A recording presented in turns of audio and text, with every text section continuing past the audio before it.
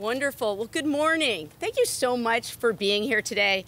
Uh, I was telling a group earlier that one of the uh, parts of being a congresswoman that I'm adjusting to is that when I reach out to people and ask them to come to Vermont, uh, important people come. And I'm so excited that Secretary Deb Haaland has uh, decided to spend some time with us here in Vermont. It's been such a joy to have the time with her this morning talking about the outdoors in Vermont and how it relates not just to our economy, but our sense of well being for, for all of us, especially our youth. And I'm so grateful that uh, Secretary Haaland and President Biden has been supporting the, the Northern Forest Initiative to the tune of $25 million that is going to help us and the other northern states here in New England uh, to consistently uh, and, and with great focus tackle climate change, which I know is top of mind for all of us in Vermont, especially over the last few days. This is feeling more like August than July in Vermont. It's been incredibly hot. Of course, we've been dealing with the smoke from the wildfires as well. And it is so important to talk about uh, conservation, but also how do we preserve the natural environment so that we can continue to enjoy it as Vermonters is one of the things that, that we enjoy most about living here in this most beautiful state. And the natural world as I've mentioned before, uh, both as a state senator and now as a, a, congresswoman, the natural world is part of our mental health well being as well. And we want to make sure that we can do everything that we can to make sure that it is a safe, uh, vibrant place for all us, for all of us to be out in.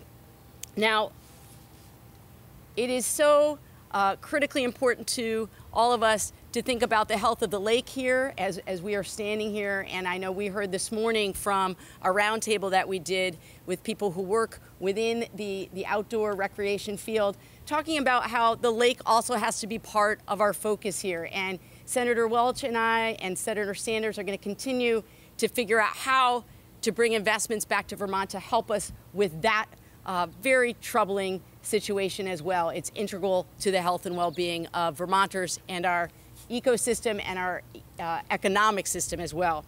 So at this time, I'm going to introduce my uh, colleague who will, will speak to uh, all of you about his experience in, in the Senate and also in the House in working with uh, Secretary Haaland and, and what it means for us to have her here with us today. Uh, Senator Welch. Uh, thank you, Becca.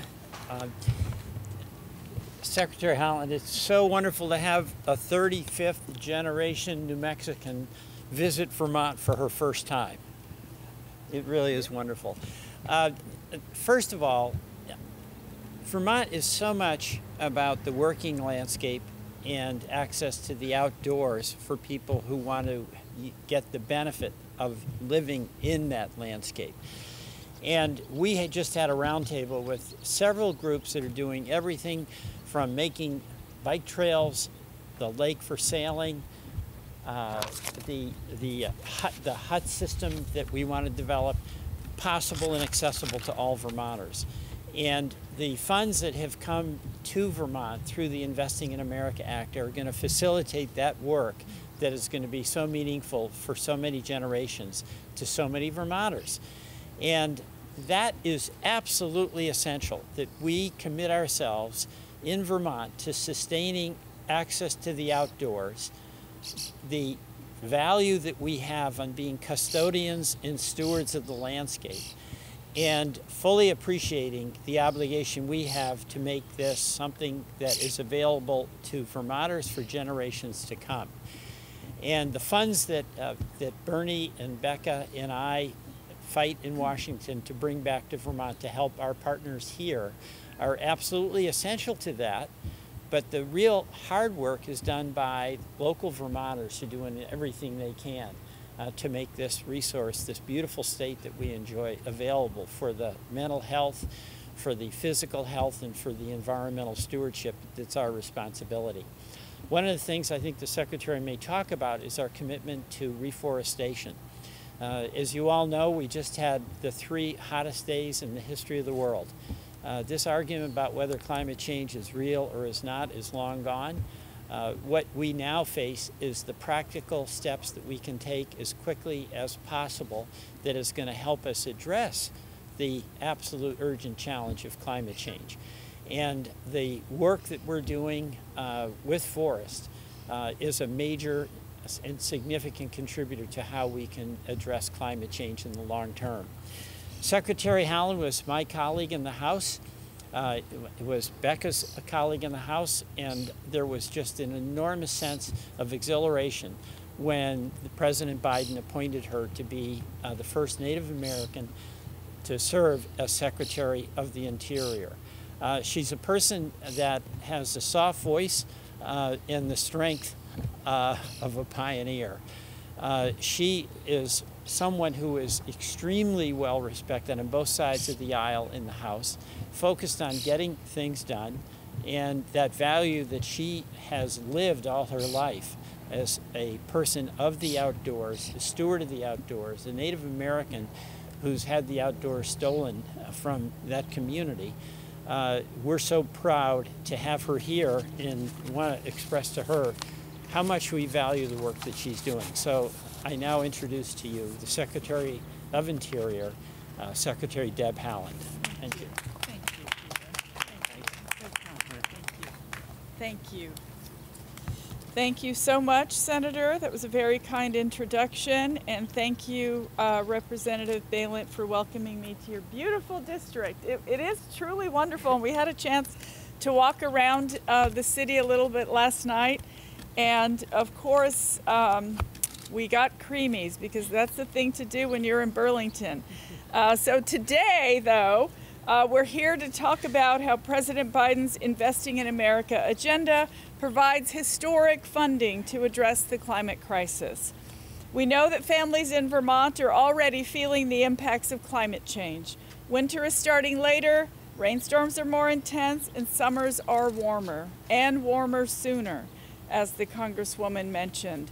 As the climate crisis worsens and biodiversity slips away, strengthening our response to disappearing species and habitat loss is crucial if we are to leave behind a livable planet for future generations. These priorities are at the core of the Biden Harris administration's all of government approach to addressing the climate crisis and protecting the species that all of us depend on. Our Investing in America agenda is putting resources where they can truly make a difference. The Inflation Reduction Act is the most significant legislation in U.S. history to tackle the climate crisis. Thanks to an extraordinary $25 million investment, the U.S. Fish and Wildlife Service has new funding for a significant landscape conservation approach for a climate resilient northern forest. This investment will provide for the development and implementation of a collaborative cross jurisdictional conservation plan across northern tier forests in 10 states, including right here in Vermont. And it will improve infrastructure and habitat to be more climate resilient in the Midwest and Northeast regions. The northern forest ecosystem provides critical habitat for wildlife and outdoor recreation. As all nature is, the northern forest will be an ally as we address the climate crisis by restoring balance to nature. Restoring and protecting bottomland hardwood forests helps to increase resilience to flooding from large storm events. It improves water quality and forest health. It increases public safety and improves public access. The best way to accomplish these outcomes is to work together because we know collaborative conservation absolutely works. And that's why efforts in this region will be developed in close collaboration with state agencies and Indian tribes and will use indigenous knowledge gained over millennia by the original stewards of these lands. This type of collaborative conservation is at the heart of the America the Beautiful initiative, a decade long challenge to pursue locally led and voluntary efforts to conserve, connect, and restore the lands, waters, and wildlife upon which we all depend. This morning, we met with members of the outdoor recreation community who know firsthand the value of this work. The outdoor recreation is a powerhouse for our nation's economy, which generated $862 billion in 2021, right here in Vermont. That included 1.5 billion in the state's GDP and provided for 14,582 jobs. Conservation isn't just critical for our landscapes, but it also ensures access to the outdoors for folks regardless of their income or backgrounds. It creates and sustains local economies. We all have a vested interest in its success. While I'm here, I'll have a chance to see where partnerships and collaboration have made conservation of that area a success. With funding from the Inflation Reduction Act coming to the Northern Forest, not only will we protect these special landscapes that make these communities so beautiful, but we will also help address the climate crisis and support local economies. Thank you so much for coming today, and I believe Felicia will help us to manage some questions. Great. Thank you all. If you could just raise your hand and whenever you have a question, introduce yourself and the news org that you're with. We'll start here. Um, Abigail Giles with Vermont Public. Um, I'm just curious if you can share a little bit more um, about the sorts of the kind of work that, that these funds will be used to do, um, particularly in Vermont. Yeah. Well, of course, we have we have amazing and wonderful partners. We also have a terrific and uh, dedicated uh, career staff on the ground. Uh, and so, uh, as to the specific programs, we're happy to get in touch with you about the specific things that this funding will um, will address. However, I do want to say that it's important that we are connecting with the local um, the local folks on the ground here. We want to make sure that we are doing things right, and you can only do that if you're in connection with the people who live here, who know the landscape, who understand uh, what exactly uh, we need to do. But restoration on these landscapes is critical, um, as I said in my remarks, uh, not only for the uh, animals and the ecosystem, but also for safety and access to these areas. Secretary, we actually have someone from the Fish and Wildlife Service. who Oh, good, great, good. Please. Yes, thank you. Hello, um, I'm Kyla Hasty, and I'm the acting regional director for the U.S. Fish and Wildlife Services Northeast region. Um, so these funds are going to be used across a 10 state area. And as the secretary said, they're going to be used to develop um, a landscape conservation plan to look at the entire northern forest. And so that's, you know, Vermont as well as these other 10 states to make sure that we're um, making a down payment now for the future and really thinking about the long term investments. Um, it also, it, we're going to do more forest inventory. We need to understand better how are these systems changing with climate. Um, and so understanding better what do we have now, what do we want the future to look like, and how can we then manage sustainably going forward. And then finally, we're going to be putting projects on the ground. We're working right now with our state partners to help identify the most important places where we can be doing stream restoration work, um, because you know some of these forests are are um, uh, degraded with roads or uh, stream crossings that may not allow for flow of water that you know comes into Lake Champlain or into the Great Lakes, and so trying to make sure that we're creating fish passage so we can bring fish back, improve water quality. Um, also very important for uh, carbon sequestration, and so really looking at, at that um, as well. So hopefully that helps. yeah. And we can go to the next question. Hi, uh, Calvin Cutler with um, Channel 3 News. Is, is there a concern? You mentioned there's 10 states or 10 municipalities uh, that will be uh, involved in this work. Is there a concern that some of them might not want this kind of a, plan from, you know, that's federally funded? They might want to manage their own forests and come up with their own plans and styles of, of doing this.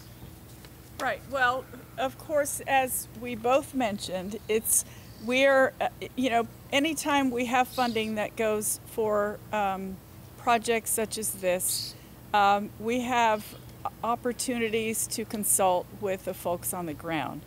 Um, we are making sure that those conversations are happening because we want to make sure we're putting the money where it really matters. So. Um, I know that the Fish and Wildlife Service will do an amazing job of connecting with those um, communities and those people. And um, I, I believe that this funding will make a real difference um, for the ecosystems and um, the, the forests uh, that we intend. Thank you. Any other questions from press here?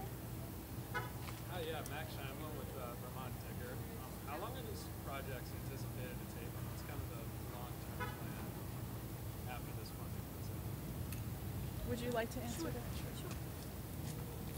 Um, well, uh, the funding goes through 2026, and so, but we're um, still working collaboratively with our partners um, and local communities to try to iron out all the all the details of how long it will take. So um, we don't have all of those details quite yet. As the secretary said, we're trying to make sure that we're very inclusive, um, that we're really partnering with folks, and so. Um, we want to make sure that we, you know, listen to voices as, as we're putting these projects together before we finalize any of those uh, details. We have a question here. Uh, I'm Sam Israel from ABC 22 Fox 44 News. Um, was curious if someone could speak about how specifically the plan, I know we spoke about Vermont's forests, but how the money is going to be used uh, for Lake Champlain. Sorry. Yeah. Okay. we have the expert here. Um, well, so like I said, Ver- Vermont is um, one of 10 states um, that we're working with. Um, in Vermont, we have two national wildlife refuges. This funding was very specific to be used um, both on national wildlife refuges as well as um, state agencies, so state wildlife management areas have the opportunity as well to be able to access funding. So um, we're still having conversations with the state of Vermont about what might make sense there. Um, and so again, those details aren't, aren't quite worked out. Um, and then for our national wildlife refuges, again, we have uh, Missisquoi, which is very tied to the health of um, Lake Champlain, um, as well as the Nulhegan, uh, uh, part of the Silvio Conte, which is actually tied to the health of the Connecticut River. And so, really, both ecosystems um, may benefit from these funds and certainly will benefit uh, from this sort of long term plan to look at the health of um, our lands, partnering also with the Forest Service, with states. So it's not really just about our lands; it's all part of the bigger, the bigger uh, puzzle, um, and how Lake Champlain and the other Great Lakes, um, you know, can benefit from these funds for the long term. Any other questions from press here? One last one. Sorry, one last one.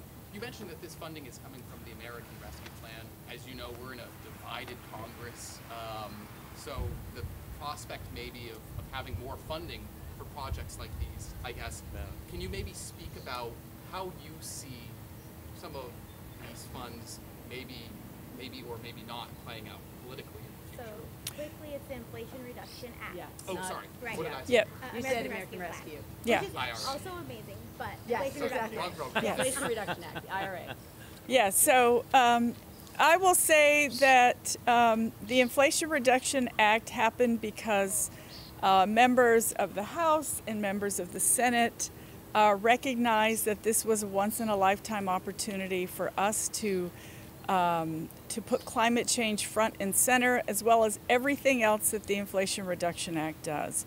So I, I want to say that uh, we're, the president is, uh, is proud of the opportunities that this has given uh, to the American people, and I would perhaps love to have the senator also say a few words about the Inflation Reduction Act. Well, your, your, your question is about future funding, and we don't know. It is a divided Congress. But my view, uh, we can't turn our back. The three hottest days in the history of the world, the three hottest days in the history of the world. The debate about whether climate change is real, that's over. The question is, how are we going to reverse it? And that has to be top of mind for everyone.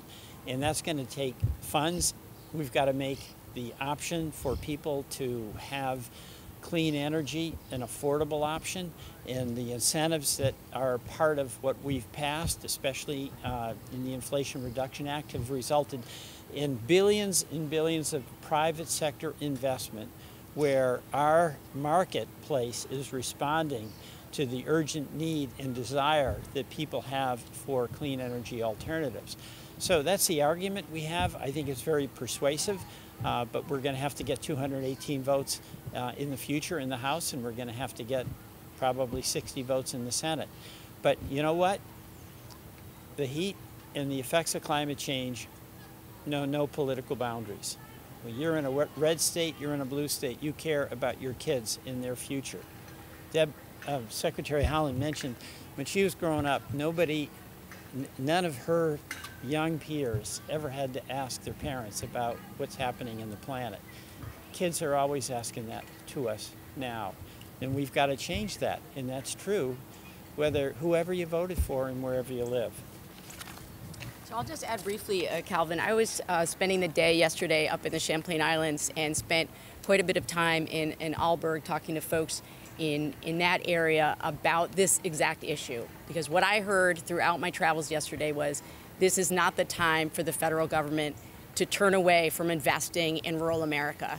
And so it's a real concern that folks, leaders on the ground have, is that these investments from IRA, certainly from the American Rescue Plan, from COVID relief funds, from the infrastructure bill, this is um, a statement that Congress and the Biden administration has made that the time to invest is now, and we cannot retreat from that. And I heard that across the political spectrum yesterday on my trip is that these towns, villages uh, across Vermont who have, have really uh, been bearing the brunt of not just the pandemic, but uh, climate change and how it impacts them and their, their bottom line for their community members. This is not the time for us to be uh, shrinking those investments that we're making. And so I was um, heartened by what I heard. And of course, that is the work that I have ahead of me, uh, being the lone member in the House, is that we cannot allow a small group of extremists to make it impossible for us to do what's right for the American people, which is to continue,